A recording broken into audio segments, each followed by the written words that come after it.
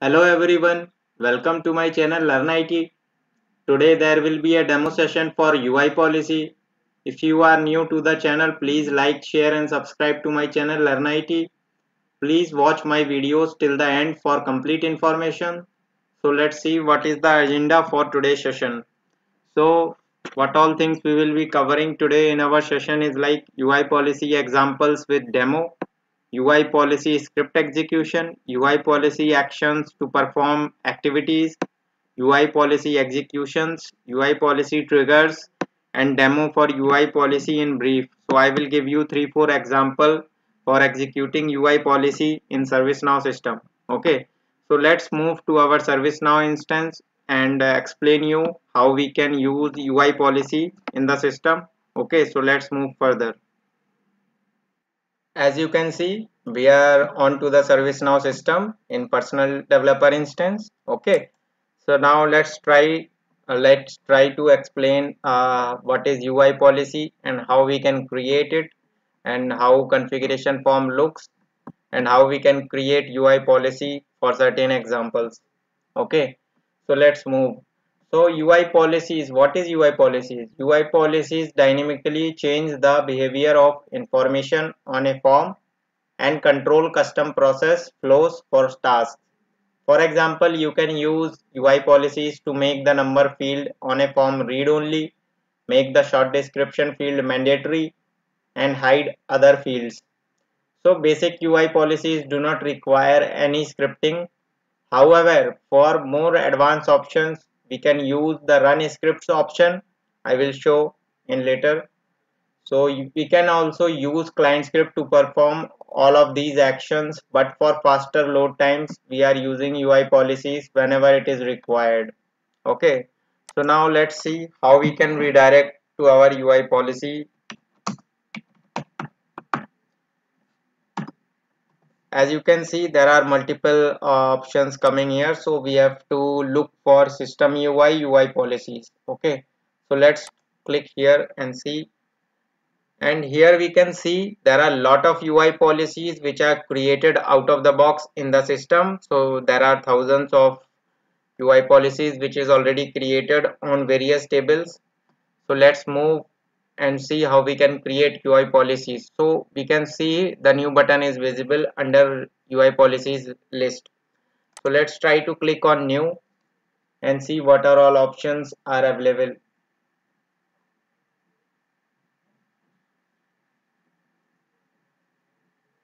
So we can see there are multiple options like uh, there is a table, short description, active flag, application and uh, we have multiple options here. So we will explain one by one what all these uh, fields are of. So this is a table field where we can select any table and this is the application. So it is already selected as global okay? And the short description we can define what UI policy does in short okay? And we can see there is a section when to apply any script. So let's talk about when to apply so when to apply there is a condition. So we can add the condition as per the table selected here. Okay? And uh, again the UI policy applies to all form views. Otherwise UI policy is view specific. So this is set as global. So we can apply the UI policy when a form is loaded and when the user value changes on the form. So for onload it is already marked as checked. And reverse if false if suppose uh, we are executing any UI policy conditions as false so this uh, UI policy will be executing opposite like what it is configured. Okay so what in inherit means the it is the option for specifying whether the extended tables inherit this UI policy or not. Okay so now let's move further and see what script section contains so in a script section suppose we have to create a script for this uh, UI policy. So we have to simply select the run script option.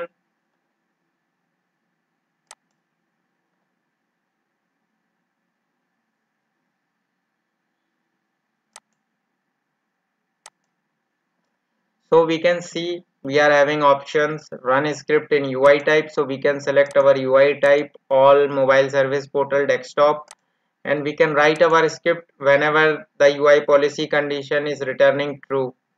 And whenever the condition is returning false we can define a script for that too as well. Okay. So now what I will do is like I will try to create UI policy. And one more thing before creating UI policy we have UI policy actions. What those UI policy action does is like first of all we have to like uh, create for uh, setting field as mandatory or setting field as visible or setting field as read only. So these all actions will be taken as part of UI policy actions. Okay? So let's try to create a new UI policy okay so there is an example for creating UI policy. Suppose uh, we are making a close note field mandatory and we are hiding some fields and then making some fields read only as well.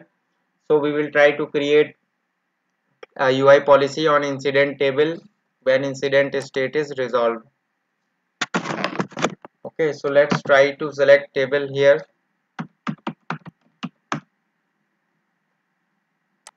so yeah so make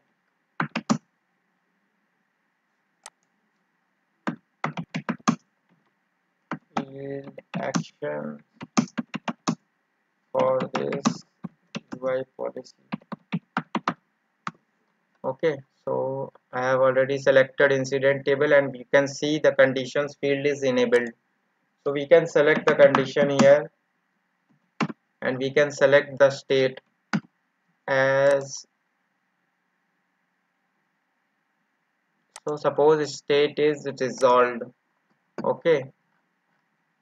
Yeah so that's fine. State is resolved and we will try to save this record.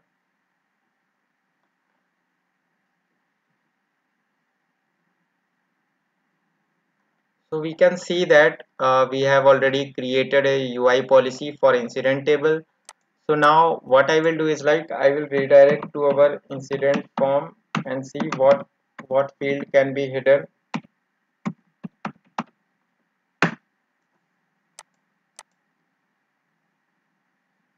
so let me try to open any new incident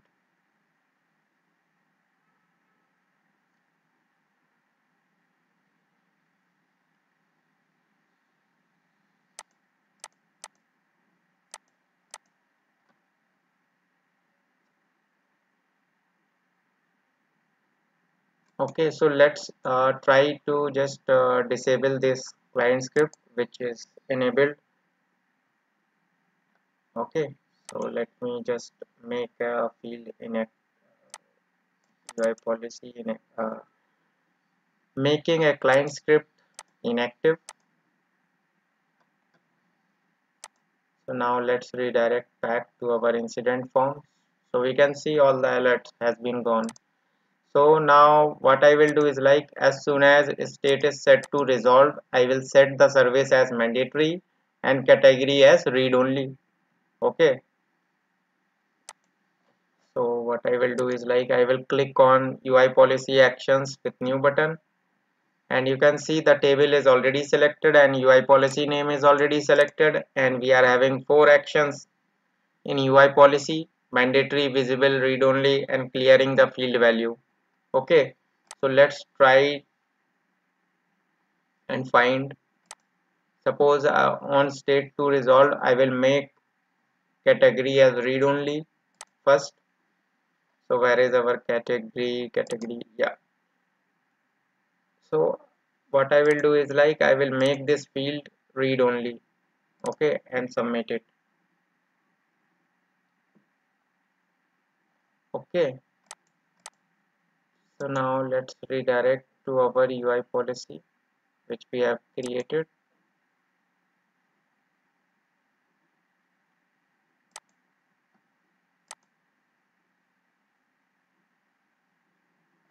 As you can see we have already created our UI policy with the category field. Okay so now let's try to reload this form and check whether category is going to read only or not. So I will change state to resolved okay as soon as I have selected state as resolved the category field is set to read only. Now what I will do is like on state as resolved I will do uh, sub service oh sorry subcategory as mandatory and service hidden. So let me try to create another action for subcategory. I will set subcategory as mandatory subcategory as mandatory true. Okay subcategory will be mandatory and service will be hidden. So let me try to create UI policy action for same.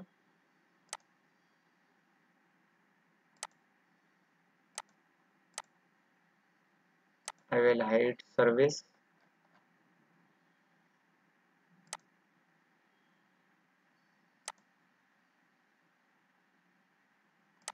set visible false. So I will hide it.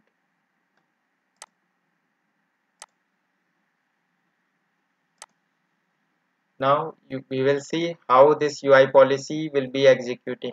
So there are three actions which is added right now. So let's see how it executes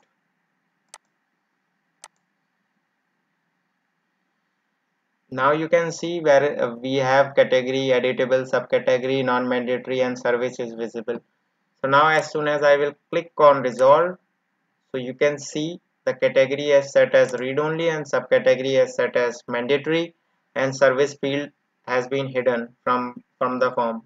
Okay.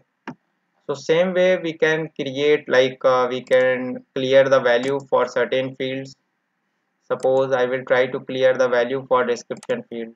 So I will create one more UI policy action here and see how it executes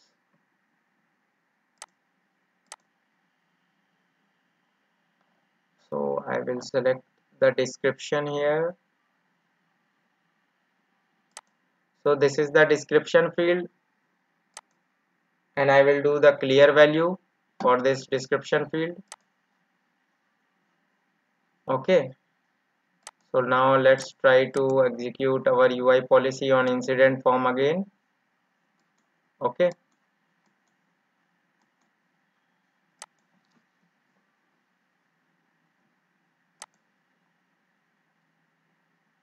so now let's try to set as resolved. So you can see description field. It is empty now. We have cleared the value for this field. Okay. So we, we have seen how our UI policy actions has been executed based on certain conditions. Okay. So we have options for run script as well. So we will see how we can use run script. Okay so suppose uh, we are having a state is resolved and we will try to execute our script as well. So what I will do is like gform dot set value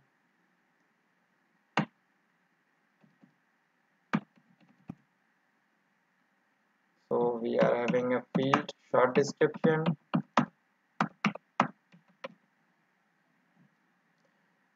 So we will set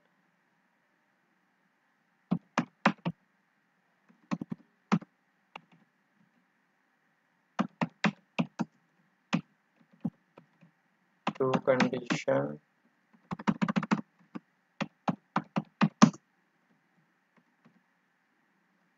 Okay same script will just copy and paste here. And I will just change the text as false condition. So I will try to save this UI policy record again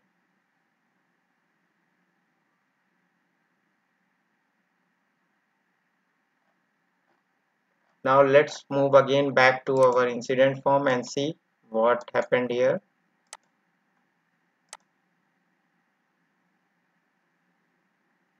See the UI policy is executed on load as well. So you can see our state is new in true condition but state is new so false condition has been executed.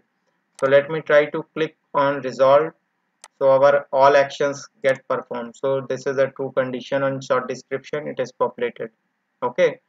So now this way we have used UI policy in vast with examples. So this is interesting feature because uh, so as to increase some interactive for certain forms. So UI policy is very good to use instead of client script whenever it is required. Okay. So this is all about UI policy. Please provide your comment if you have any question doubt or queries related to this session. For more information please visit description section under this video. Thanks for hearing me out. Stay tuned for more videos. Please do like share and subscribe to my channel learn IT